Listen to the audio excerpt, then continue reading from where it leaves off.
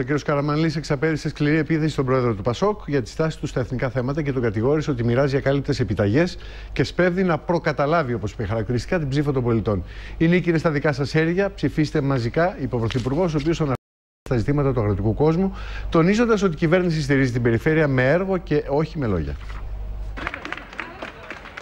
Ο Κώστας Καραμαλής, συνοδευόμενος από τη σύζυγό του Νατάσα, φτάνει στην κεντρική πλατεία της Λάρισας.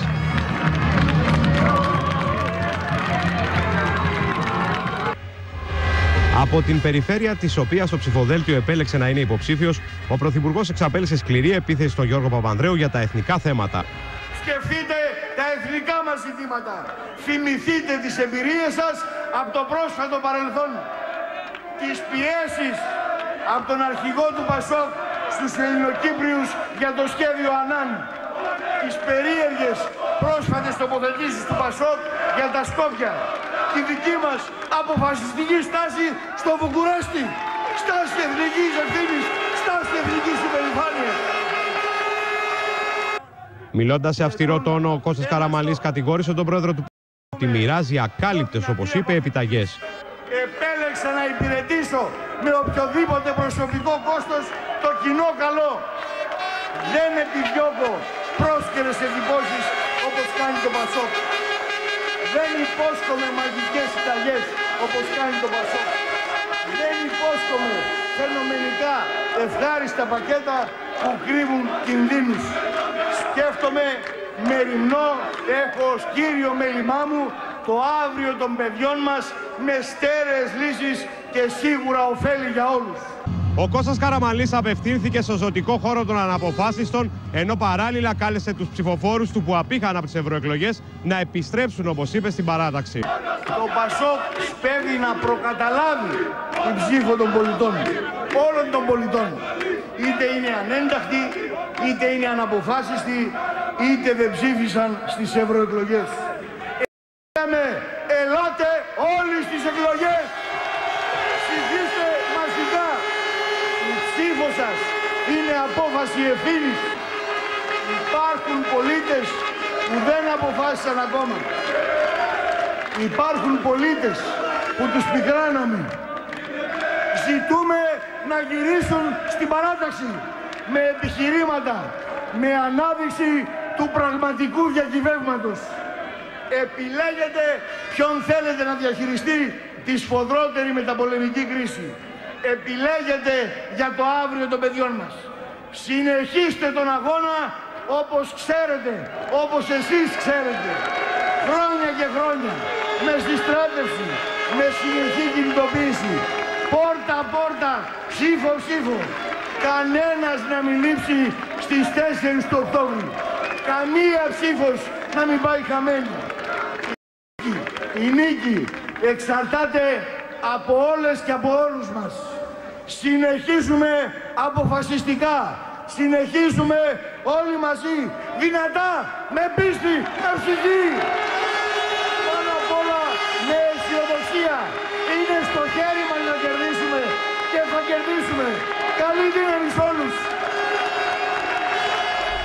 Τώρα, στο ψηφοδέλτιο επικρατείας της Νέας Δημοκρατίας ηγείται ο Υπουργός Πεχόδα Γιώργος Σουφιάς, με τον πρώην πρόεδρο της Βουλής Δημήτρης Σιούφα στη δεύτερη θέση και στην πέμπτη τον πρώην κυβερνητικό εκπρόσωπο Ευάγγελο Αντώνερο. Τις υπόλοιπες θέσεις της Εξάδας συμπληρώνουν τρεις γυναίκες από τον επιστημονικό χώρο. Ο πρώην πρόεδρος της Νέας Δημοκρατίας Μιλτιάδης Εύερτ βρίσκεται στη 12η τιμητική θέση του ψηφοδελτίου επικρατείας, σύμφωνα άλλωστε με την επιθυμία που εξέφρασε ο ίδιος τον Πρωθυπουργό. Την εμπειρία με την ανανέωση συνδυάζει το ψηφοδέλτιο της Νέας Δημοκρατίας, όπως σημειώνουν χαρακτηριστικά στο κυβερνητικό στρατόπεδο, με το άρωμα γυναίκας να είναι έντονο, αφού 5 από τις 12 καταλαμβάνουν κυρίες. Στην πρώτη θέση ο Υπουργός Πεχοδέ Γιώργος Σουφλιάς, με τον πρόεδρο της Βουλής Δημήτρη Σιούφα να βρίσκεται στη δεύτερη. Στις εκλογές αυτές κρίνεται η πορεία της οικονομίας μας και όχι μόνον. Είναι εκλογές εθνικής και πολιτικής υπευθυνότητας. Θα αγωνιστώ ώστε να περάσει το μήνυμα αυτό σε όσο το δυνατό περισσότερους πολίτες. Θα αγωνιστώ ώστε ο πολιτικός πολιτισμός μας στην πορεία για τις εκλογές να σταθεί σε ακόμη υψηλότερα επίπεδα. Πιστεύω ακράδαντα ότι οι πολίτες επιβραβεύουν τους θαραλέους, τους υπεύθυνους και ειλικρινείς ηγέτες. Αυτό θα κάνουν και τώρα επιβραβεύοντας τον Κώστα Καραμαλή. Στην τρίτη θέση, Γενική Γραμματέα Ισότητας Ευγενία Τσουμάνης Πέτζα και ακολουθεί η Διονυσία Θεοδόρα Αυγερινοπούλου, πρόεδρος του Ευρωπαϊκού Ινστιτούτου Δικαίου και Επιστήμης. Το ψηφοδέλτιο αποτελείται από γυναίκες και άντρες, καταξιωμένους στο χώρο τους με πολιτική, επιστημονική και κοινωνική προσφορά. Την πέμπτη θέση καταλαμβάνει ο κυβερνητικός εκπρόσωπος Ευάγγελος Αντόναρο. Στην έκτη, η Ισμήνη Κριάρη, με έντονη δραστηριότητα σε ευαίσθητες μαθητικές ομάδες. Ο Παναγιώτης Λιαργόβα, καθηγητής στο Πανεπιστήμιο η Νίκη Κορτσοπούλου, Γενική Γραμματέας του Υπουργείου Παιδείας, ο Κώστας Δημητρίου, μέλος του Διοικητικού Συμβουλίου του ΣΑΕ, η Ιωάννα Καλατζάκου Τσαζαρώνη, δικηγόρος, ο Γιάννης Οικονόμου, Γενικός Γραμματέας Καταναλωτή, ενώ τη 12η τιμητική θέση καταλαμβάνει ο πρώην πρόεδρος της Νέας Δημοκρατίας Μιλτιάδης Σέβερτ, μετά από δική του πρωτοβουλία, θέλοντας να συμβάλλει στην ανανέωση του κόμματος. Σε επιστολή που έστειλε ο Πρωθυπουργός προς τον πρώην πρόεδρο της Νέας Δημοκρατίας Μιλτιάδη Εύερτ, επισημαίνει το ήθος και την ανιδιοτέλεια που επέδειξε όλα αυτά τα χρόνια ο κύριος Εύερτ. Η στάση σου είναι μία ακόμα απόδειξη του ήθους και της αξιοπρέπειας που χαρακτηρίζουν διαχρονικά τη μακρά πολιτική σου διαδρομή. Μια διαδρομή που δίδαξε μια ολόκληρη πολιτική γενιά, στην οποία έχω την τιμή να ανήκω.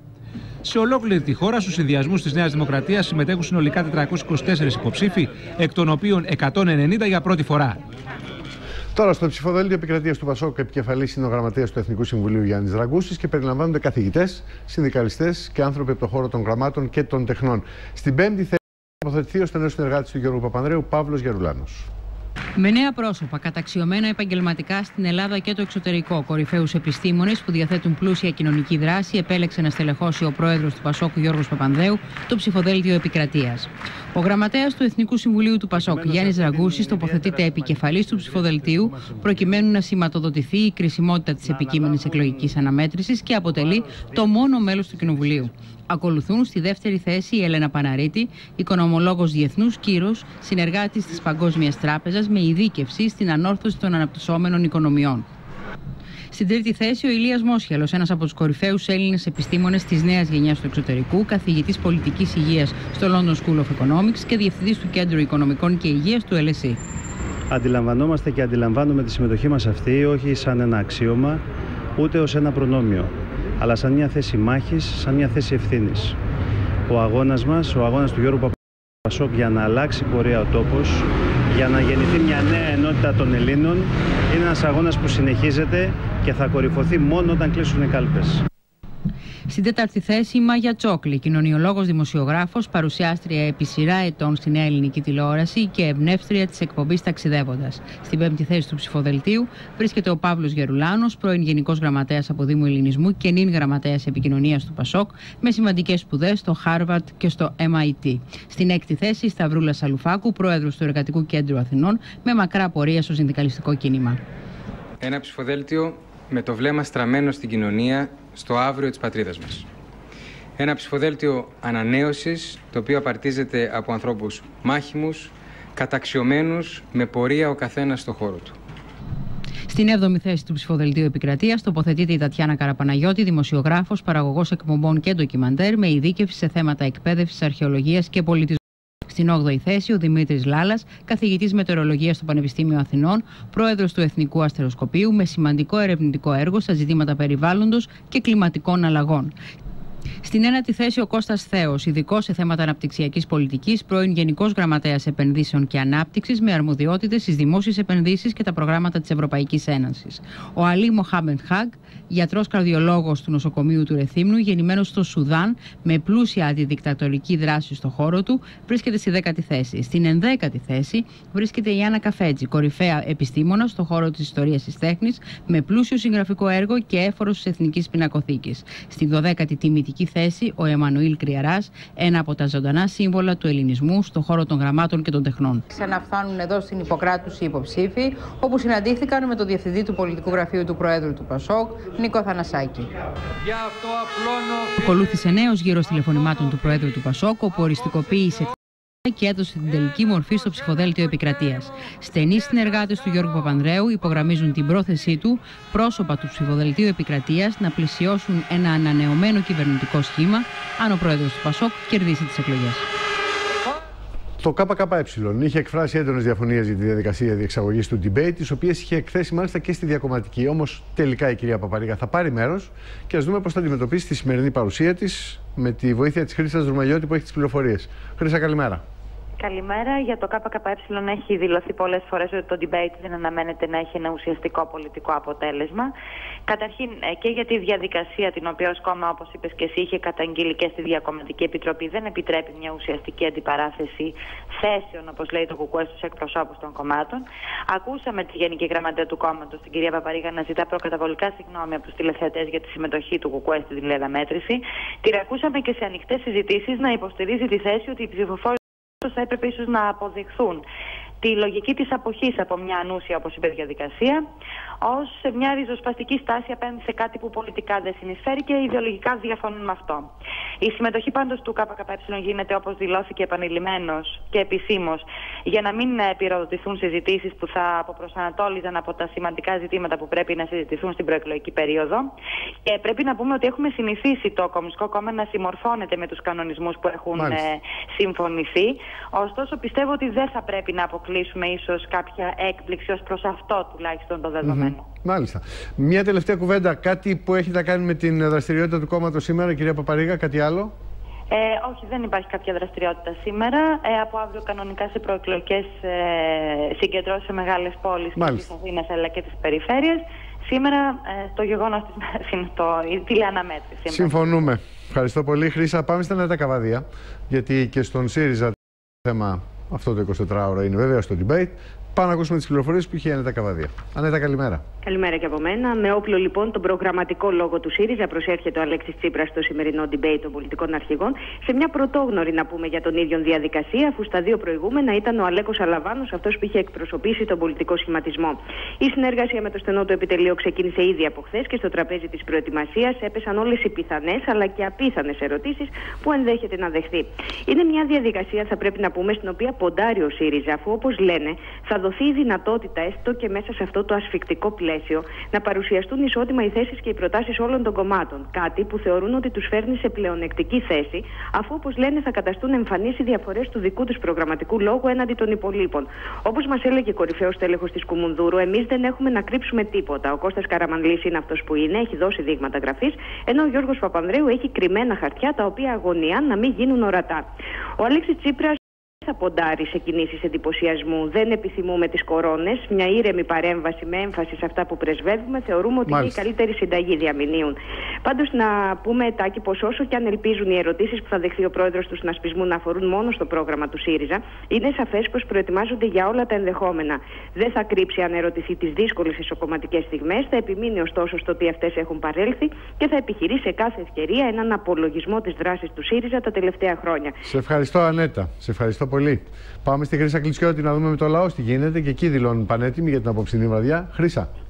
Ακριβώς, καθόλου έτοιμος δηλώνει ο Γιώργος Καρατζαφέρης για την απόψινή τηλεμαχία. Όπως λένε οι συνεργάτες του, ο πρόεδρος του Λαϊκού Ορθόδοξου Συναγερμού δεν πρόκειται να κάνει κάποια ιδιαίτερη προετοιμασία, γιατί έχει συγκεκριμένες θέσεις και προτάσεις για όλα τα θέματα, τις οποίες μπορεί να αναπτύξει στο χρόνο που απαιτείται. Μάλιστα, όπως επισήμανε και ο ίδιος χθες από τη Χαλκίδα, όπου περιόδευσε, είναι έτοιμος να απαντά στις ερωτήσεις των δημοσιογράφων σε λιγότερο χρόνο από ό,τι προβλέπεται από τους κανόνες του debate, γιατί όπως χαρακτηριστικά τόνισε, είναι πάντα καλά προετοιμασμένος και δεν χρειάζεται κάποια αφορμή όπως την τηλεμαχία για να προετοιμαστεί και να εκφράσει τις θέσεις του. Ο κ. Καρατζαφέρης, λοιπόν, αν και θα συμμετάσχει στο debate, τονίζει σε κάθε ευκαιρία ότι ο Λαϊκός Ορθόδοξος Συναγερμός είχε ζητήσει ε, με στο debate και εκτός θεματολογίας προς κάθε πολιτικό αρχηγό με τη δυνατότητα επαναφοράς του δημοσιογράφου. Ο πρόεδρος του Λαϊκού Ορθόδοξου Συναγερμού θέλει ανοιχτή ατζέντα, όπως ο ίδιος σημειώνει χαρακτηριστικά, και θέλει να τον ρωτήσουν τα πάντα.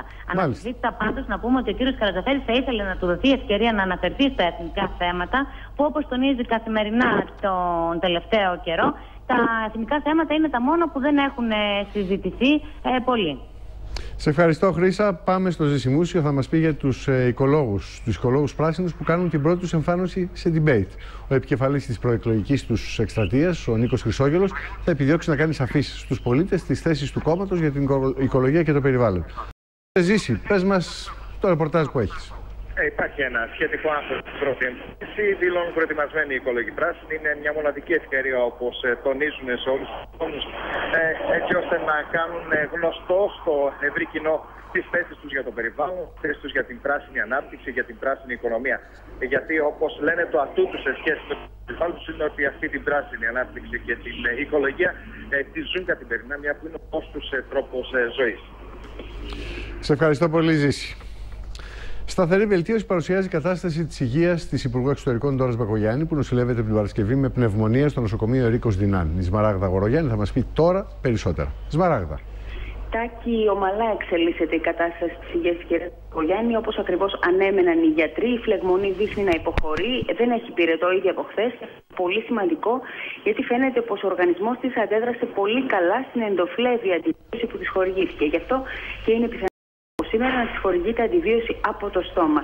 Ε, σήμερα Τάκη θα υποβληθεί και σε νέο ακτινολογικό έλεγχο για να δουν οι γιατροί πόσο έχει υποχωρήσει η αιστεία της πνευμονίας και είναι πιθανό, σύμφωνα με τις ε, πληροφορίες μας, να πάρει εξητήριο πιθανότατα αύριο. Σε ευχαριστώ πολύ. Πάμε να δούμε τώρα τον ιό της Νέας Γρήπης τι γίνεται. Δεν έχει μεταλλαχθεί, διαβεβαίωνει η Γενική Διευθύντρια του Παγκόσμιου Οργανισμού Υγείας, κυρία Μάργαρετ Τσάν. Όπως είπε, τα εμβόλια έχουν αποδειχθεί αποτελεσματικά και η παραγωγή τους θα φτάσει τα 3 δισεκατομμύρια δόσεις. Στο μεταξύ, από σήμερα τίθεται σε λειτουργία το πρωτοβάθμιο δίκτυο ιδιωτών γιατρών που διαγνώνουν την νόσο, ενώ στην Ελλάδα έχει παραλυφθεί η πρώτη παρτίδα των εμβολίων και βρίσκεται στη Βάρη. Πάμε στην αίθουσα σύνταξης. Εκεί είναι η Βάσο Καλυβιώτη και έχει όλες τις πληροφορίες για το θέμα. Πάσο. Οι ιδιώτε γιατροί, λοιπόν, πέντε ειδικοτήτων από σήμερα θα εφημερεύουν στην Αττική, προκειμένου να εξυπηρετούν τους ασθενείς, οι οποίοι υποψιάζονται ότι έχουν προσβληθεί από τον ιό της νέας γρήπης. Το δίκτυο για την πρωτοβάθμια υποστήριξη της δημιουργήθηκε με τη συμμετοχή των γιατρών ώστε να διευκολύνονται οι ασθενείς και να μην συνοστίζονται στα εξωτερικά ιατρία των νοσοκομείων. Μόνο αν χρειαστεί ε, τάκι, οι ιδιώτες ε, γιατροί ε, θα παραπέμπουν στους ασθενείς με δική τους οδηγία στα νοσοκομεία για περαιτέρω έλεγχο. Πρέπει να σας πω ότι πλήρης κατάλογος των ιδιωτών γιατρών θα βρίσκεται καθημερινά, θα τυπώνεται στον ημερήσιο τύπο, ενώ όσοι ενδιαφέρονται μπορούν να δουν α, πόσοι γιατροί και ποιοι γιατροί εξυπηρετούν τις περιοχές τους από τις ιστοσελίδες του Ιατρικού Συλλόγου Αθηνών και του Κέντρου Ελέγχου Ειδικών Λοιμόξεων. Πρέπει να πω ότι είναι διαθέσιμοι όλο το 24ωρο και τα τηλέφωνά τους απαντούν νύχτα και μέρα.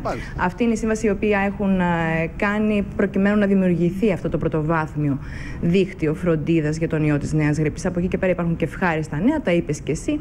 Η πλέον αρμόδια, η διευθύντρια του Παγκόσμιου Οργανισμού Υγείας, η κυρία Μάργαρετ Τσάν, είπε ότι είναι ε, πολύ πιθανό ο ιός της γρήπης να μεταλλαχθεί. Όμως από τον Απρίλιο μέχρι και σήμερα δεν έχει δείξει τέτοια πρόθεση. Και αυτό αν θέλετε είναι παρηγορητικό. Εν τω μεταξύ όπως η ίδια είπε, τον επόμενο χρόνο αναμένεται να παρασκευαστούν 3 δισεκατομμύρια εμβόλια, αντιϊκά εμβόλια, αντιγρυπικά εμβόλια για τον ιό ή τα 1 νη 1, αφού 25 φαρμακευτικές εταιρείες ήδη έχουν αρχίσει την παρασκευή τους. Σε ευχαριστώ πολύ Βάσο. Περισσότερες θέσεις εργασίας για τον ε, ολοένα και αυξανόμενο αριθμό ανέργων παγκοσμίως ζητούν από τους ηγέτες του κόσμου εκατοντάδες διαδηλωτές στο Πίτσμπουργκ λίγες ημέρες πριν από τη σύνοδο των G20. Οι ηγέτες των 20 πλέον ανεπτυγμένων και αναπτυσσόμενων οικονομιών θα συναντηθούν εκεί για να συζητήσουν πώς θα αναδιαμορφώσουν κατάλληλα την οικονομική αγορά ώστε να αποφευχθεί μια νέα παγκόσμια οικονομική κρίση. Πρόκειται μόνο για μία μικρή γεύση των διαδηλώσεων που θα επακολουθήσουν εν ώψη της συνόδου των G20 που θα ξεκινήσει την Πέμπτη στο Πίτσμπουργκ. Δουλειές για Εθνικό Σύστημα Υγείας και Παγκόσμια Ειρήνη ζητούν οι εκατοντάδες διαδηλωτές που βγήκαν στους δρόμους της πόλης την πρώτη επίσημη ημέρα των κινητοποιήσεων. Χιλιάδες αναμένεται να συμμετέχουν στις μεγάλες πορείες της Πέμπτης και της Παρασκευής, μία εκ των οποίων, που θα έχει και τίτλο Επανάσταση των Λαών, θα πραγματοποιηθεί χωρίς άδεια. Οι διοργανωτές καλούν τον κόσμο να συγκεντρωθεί έξω από θεσμούς που προστατεύει η G20, αναφέροντας χαρακτηριστικά τα Starbucks, τα McDonald's και τις τράπεζες. Και ενώ οι θύνοντε μιλούν για οικονομική ανάκαμψη στι αρχέ του 2010, φαίνεται πω αυτή δεν θα συνοδεύεται από φω στο τούνελ τη ανεργία. I want to be clear uh, that probably the jobs picture is not going to improve uh, considerably, and it could even get a little bit worse over the next uh, couple of months. Στην έξοδο από την οικονομική κρίση θα επικεντρώσουν τις συζητήσεις τους στη Σύνοδο οι ηγέτες 19 ανεπτυγμένων και αναπτυσσόμενων χωρών και της Ευρωπαϊκής Ένωσης.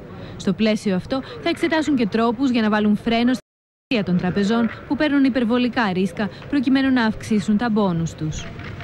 Τον έγκαιρο εντοπισμό των καρκίνων του παχαίου σεντέρου και του στομάχου υπόσχονται δύο νέα αιματολογικά τεστ. Οι επιστήμονες που τα ανέπτυξαν τα παρουσίασαν στο Ευρωπαϊκό Συνέδριο για τον Καρκίνο στο Βερολίνο. Απλό, φθηνό και έγκαιρο εντοπισμό των καρκίνων του παχαίου εντέρου και του στομάχου, χωρίς την ανάγκη επεμβατικών διαδικασιών ή δυσάρεστων εξετάσεων, υπόσχονται τα δύο νέα αιματολογικά τεστ. Το πρώτο ανέπτυξε βελγική εταιρεία βιοτεχνολογίας και το δεύτερο επιστήμονες στη Γερμανία. Και τα δύο τεστ χρησιμοποιούν δείγματα αίματος για να εντοπίσουν συγκεκριμένα γενετικά σήματα της ασθένειας και μπορούν να βοηθήσουν το γιατρό να προβλέψει αν είναι πιθανό αυτή να επεκταθεί. Η Ουρλίκε Στάιν, που παρουσίασε τα ευρήματα των Γερμανών επιστημονών στο Ευρωπαϊκό Συνέδριο για τον Καρκίνο στο Βερολίνο, τόνισε ότι το τεστ είναι το πρώτο που μπορεί να εντοπίζει στο αίμα σήματα του γονιδίου S100α4, το οποίο συνδέεται με τον καρκίνο και έχει δείξει ότι μπορεί να εντοπίζει σε ποιους ασθενείς είναι πιθανό να επεκταθεί. Το δείγμα αίματος μπορεί να το πάρουν νοσηλεύτριες χωρίς ειδικό εξοπλισμό ή εκπαίδευση, τόνισε ο εκπρόσωπος της βελγικής εταιρείας. Ο καρκίνος του παχαίου σεντερού είναι η δεύτερη αιτία θανάτων στις ΗΠΑ και στην Ευρώπη, όπου από τους 560.000 ασθενείς που ανεπτύσσουν την νόσο, οι 250.000 χάνουν τη μάχη κάθε χρόνο. Ληστεία έγινε χθες τη νύχτα στο σπίτι του Προέδρου των Κρεοπολών της Βαρβάκιο Αγοράς, του κ. Κλάνθη Τσιρόνη στην Ανοβούλα. Τρεις δράστες, μάλλον αλαδοποί, φορούσαν κουκούλες και κρατούσαν όπλα. Περισσότερες πληροφορίες από τον Γιώργο Γκιόνη στην αίθουσα σύνταξης τώρα. Γιώργο. Ήταν μια μισή ώρα όταν οι τρεις άγνωστοι, οι δράστες, ε, παραβίασαν ε, την πόρτα της κουζίνας του διαμερίσματος. Είναι ισόγειο διαμέρισμα σε διόροφη πολυκατοικία στην περιοχή της Ανοβούλας. Μπήκαν μέσα στο διαμέρισμα και κατάφεραν να κινητοποιήσουν με τα όπλα δύο γυναίκες που βρίσκονταν στο σπίτι. Μία είναι είναι η γυναίκα του Πρόεδρου των Κρεοπολών ε, του κυρίου Κλεάνθη Τσιρόνη και η άλλη είναι 18 ετών, είναι κόρη του Πρόεδρου των Κρεοπολών. Ε, έδεσαν την 37χρονη σε μια καρέκλα στην κρεβατοκάμαρη και με την απειλή των όπλων βέβαια είχαν ακινητοποιήσει και την κόρη της, ε, του ζευγαριού. Ε, άνοιξαν ε, το χρηματοκιβώτιο και πήραν διάφορα χρήματα, τη μαλφή που δεν ξέρουμε την αξία τους. Έφυγαν χωρίς, ε, φαίνεται, φαίνεται ότι η οικογένεια και οι δύο γυναίκες κατάλαβαν ότι έχουν να κάνουν με αλλοδαπούς. Μια άλλη πληροφορία που υπάρχει, εμείς ξέρουμε ότι είναι και οι τρεις κουκουλοφόροι, υπάρχει μια άλλη νεότερη πληροφορία ε, ότι ο ένας από αυτούς φόραγε κουκούλα, ενώ οι υπόλοιποι όχι. Αυτό κάτι σημαίνει. Σημαίνει ότι αυτός φορούσε την κουκούλα πιθανόν να ήταν γνωστός κάποιος από περιβάλλον εγκύτερο ή μακρύτερο Μάλιστα. της οικογένειας. Τι, τι ώρα έγινε αυτό Γιώργο; Στη μία και μισή το πρωί. Α. Ο ίδιος ο κύριος Κλεάνθης ε, Τσιρόνης βρισκόταν αγορά του Ρέντι για τη δουλειά του βέβαια. Ε, βέβαια. Έτσι. Να σου πω, είχαμε και μια ληστεία, μια διάρρηξη στο Δημαρχείο της Κερατέας, λέει. Ναι, είχαμε διάρρηξη σε απροσδιόριστο χρόνο το Σαββατοκύριακο. Διαπιστώθηκε σήμερα σε 7.30 το πρωί, όταν οι υπάλληλοι πήγαν στο Δημαρχείο της Κερατέας, άνοιξαν τα γραφεία, μπήκαν μέσα και τα είδαν άνω κάτω. Πήγαν στο χρηματοκιβώτιο, το είδαν ότι έχει διαρριχθεί. Πήραν οι δράστες, ε, άγνωστοι δράστες λέμε έτσι, πήραν από μέσα ε, και από το χρηματοκιβώτιο ό,τι χρήματα βρήκαν, δεν ξέρουμε ακόμα. Και λένε, λέει η αστυνομία ότι βρήκαν και κάτι ψηλά λιγότερα χρήματα σε κάποια γραφεία. Τα πήραν και αυτά και έφυγαν. Μάλιστα. Η, αστυνομία ψάχνει για δαχτυλικά αποτυπώματα. Σε ευχαριστώ πολύ. Με το βλέμμα στραμμένο στο μέλλον και την επαγγελματική τους αποκατάσταση, 15.000 νέοι κάθισαν το πρωί στα θρανία των σχολών μαθητείας του ΑΕΔ για τη νέα σχολική χρονιά. Η ποιότητα της εκπαίδευσης των σχολών μαθητείας του ΑΕΔ είναι αισθητά βελτιωμένη σε σχέση με το παρελθόν, καθώς από φέτος διδάσκονται μαθήματα εικονικής πραγματικότητας και νέων τεχνολογιών.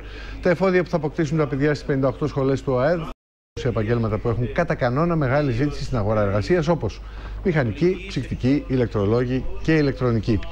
Η Υπουργός Απασχόλησης, Φάνη Πάλι Πετραγιά, εγκαινιάζοντας τις σχολές, προέτρεψε τους νέους να δράξουν την ευκαιρία που τους δίνεται και να γίνουν ανταγωνιστικοί στη νέα οικονομική πραγματικότητα. Ανέφερε επίσης ότι οι σχολές του ΑΕΔ προσφέρουν δωρεάν σπουδές με εμπειρία και ασφάλιση, αμοιβή και μαθητικές αιστείες. Διαθέτουν τόλους κοινωνικούς λειτουργούς και συμβουλευτικούς σταθμούς του ΚΕΘΕΑ. Ο ΑΕΔ τα τελευταία χρόνια έχει δώσει ιδιαίτερη έμφαση στο θέμα των σπουδών, στο θέμα της επαγγελματικής κατάρτισης, δημιουργώντας καινοτόμες δράσεις. Αρπάξτε την ευκαιρία, γιατί ο στόχος είναι η καλύτερη ποιότητα της ζωής, είναι η επαγγελματική σας αποκατάσταση, είναι αυτό το οποίο είναι ο στόχος του ΟΑΕ. Η μέρα χωρίς αυτοκίνητο, η αυριανή για όλες τις ευρωπαϊκές χώρες και οι μετακινήσεις με τις αστικές συγκοινωνίες είναι δωρεάν. Πάμε στην Ελένη Χρόνο να μας πει περισσότερα. Ελένη. Καλό μεσημεριτάκι κυρίες και κύριοι. Αύριο λοιπόν είναι η Ευρωπαϊκή ημέρα χωρίς αυτοκίνητο στα πλαίσια της Ευρωπαϊκής Εβδομάδας Μετακινήσεων. Και όσοι επιλέξουν να αφήσουν το αυτοκίνητό τους και να χρησιμοποιήσουν τις αστικές συγκοινωνίε, αύριο αυτό θα είναι δωρεάν. Ε, έτσι λοιπόν μπορούν να κινηθούν από τα ξημερώματα απόψε στις 12 μέχρι και αύριο στις 12 τα μεθάνυχτα με λεωφορεία, τρόλεϊ, τραμ, μετρό, ηλεκτρικό σιδηρόδρομο και προαστιακό. Να διευκρινίσουμε μόνο για τον προαστιακό ότι το, στο αστικό του κομμάτι θα είναι δωρεάν, δηλαδή μέχρι το αεροδρόμιο και μέχρι τη Μαγούλα. Συγγνώμη, μέχρι το Κοροπή και μέχρι τη Μαγούλα. Από εκεί και πέρα ε, είναι υπεραστικό κομμάτι, θεωρείται εκτός ε, νομού, οπότε θα πληρώνουν κανονικά το εισιτήριο. Σε ευχαριστώ πολύ. Συναυλία με τον επιτάφιο του Μίκη Θεοδωράκη και έργα της πηγής Λικούδη, επίσης Γιάννη Ρίτσου, δόθηκε στο Μέγαρο Μουσική Αθηνών στο πλαίσιο των εκδηλώσεων για τα 100 χρόνια από τη γέννηση του ποιητή της Ρωμιοσύνης. Την αυλία διοργάνωσαν η Νομαρχιακή Αυτοδείξη Λακωνίας και ο Δήμος Μονεμβασιά, που είναι η γενέτερα του ποιητή. Χορηγός επικοινωνίας ήταν η ΑΡΤ.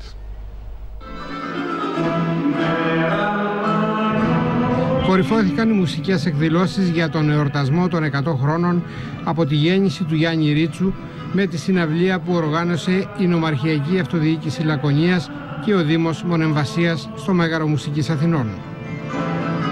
Ο Μανώλης Μητσιάς, συνοδευόμενος από την Καμεράτα, Ορχήστρα των Φίλων της Μουσικής και άλλους 24 μουσικούς υπό τη διεύθυνση του Αλέξανδρου Μιράτ, ερμήνευσε τον επιτάφιο του Μίκη Θεοδωράκη σε ποίηση του Γιάννη Ρίτσου, ένα έργο σταθμό στο ελληνικό τραγούδι. Η πηγή Λικούδη μελοποίησε το ποίημα του Γιάννη Ρίτσου «Το ευχαριστώ». Απήγγειλε ο Γιάννης Φέρτης. Ερμήνευσε η Νένα Βενετσάνο.